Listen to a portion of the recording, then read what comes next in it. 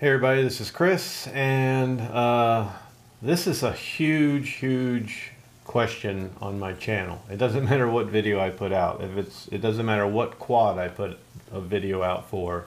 This question will usually pop up in one of those videos. Doesn't need to be a Hubsan video. It can be any video. And that just shows the desperation of people trying to find a solution that Hubsan does not provide an answer for. Um, if somebody contacts me with this question about these gimbal error codes, I usually have the answer if it's these two error codes.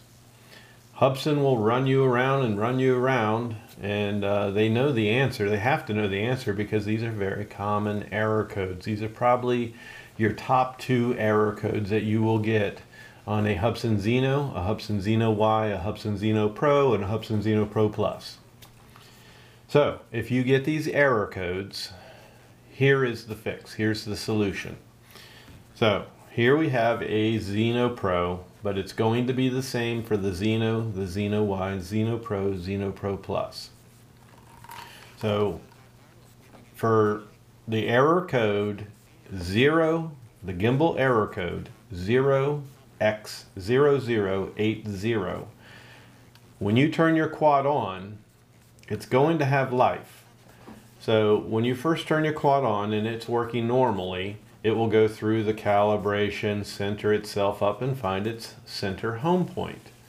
If something is off and it, it knows it's just not going to hit that point, then it goes into what's a what's called a gimbal failsafe mode and it just goes limp and it just sits there like this.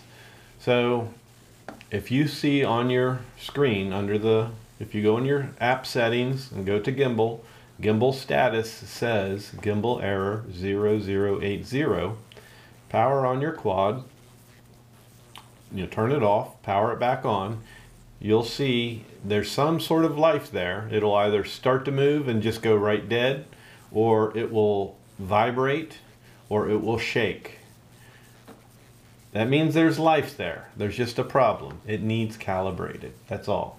When you get that gimbal error code, almost every single time, it just needs to have the gimbal calibration tool with the gimbal calibration software.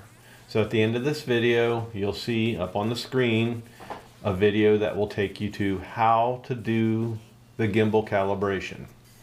It'll also have a link in that video where you can buy the gimbal, cal gimbal calibration tool. And it'll also have a link where you can download the software to do the process. So that's one, one source that you'll find at the end of this video. There's two more that you're going to find at the end of this video. This video is going to tell you how to fix and where to find the, the, the stuff to fix it. So for 0080, your gimbal should show some sort of life in the beginning when you first power it on. And then it goes completely limp. That doesn't mean you have a broken gimbal at all. It simply just means that it needs to have the gimbal calibration tool. So that should help you out if you have that error. Now, gimbal error 0x2000. When you power on your quad, your gimbal does absolutely nothing. It will not move at all. It never moves. It's always dead. Usually you find that happens after a crash. When you get that error code, almost every single time, I'm going to say 99.9% of the time, both of these error codes, but on that error code 0x2000, you have to replace your gimbal cable. That is a failed cable. It could be that it came unplugged from the board, but that is highly unlikely. I work on hundreds of Zinos, and I do this all the time. And I've never found one where the plug has come loose from the board. It's tightly squeezed in there, and it's highly unlikely that it's come undone. So uh, that's not likely going to be your problem. You're going to need to replace the cable. So at the end of this video, I have a video that tells you how to identify what cable yours requires. And I also have a video that will show you how to replace it. So everything should be covered just for those two errors if you're watching this video right here. Now, I'm going to say that for gimbal code uh, 80, that's more so going to happen if you put a new gimbal in. Uh, it can happen if you've had a crash. And very rarely does it happen, but it can happen after a firmware update. When you have these types of problems, you need to fix the problem the right way, and throwing firmware at it is not going to fix it. So if you've gone and changed your gimbal and it's shaking like crazy, that's because it's a new gimbal. This quad does not want to accept it right away. It has to be calibrated. Gimbal firmware is not going to fix that. You have to do the gimbal calibration tool.